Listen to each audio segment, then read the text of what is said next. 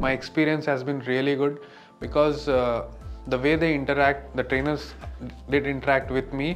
Like they were very cordial and genuine with me in a friendly manner because I was a newcomer in this field. Like I didn't feel like uh, I was being intimidated with everything. Like they took me to, to the process step by step, which was really helpful.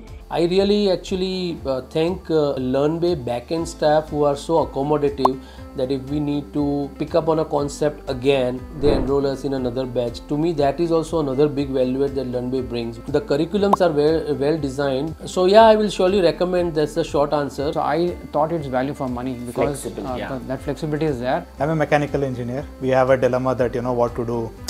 Because mechanical domain is like completely non-tech when it comes to coding, and I got Correct. to know about Learnbay. And to be frank, I don't regret joining. I get to meet a people from different uh, experiences, like those who are you know about to enter the industry, those who have worked in industry for more than 10 years, like Correct. me who have just two years of experience. I got a chance to meet with different kind of people. So definitely Learnbay is one of the uh, better of platforms. The best part of this session is that you get better trust and the better confidence.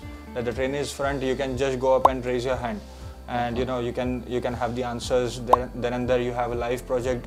Most of these parts were uh, very you know crisply taught, and all the dots uh, dots were joined right. So that gives us a very smooth experience in in learning the overall uh, programming language.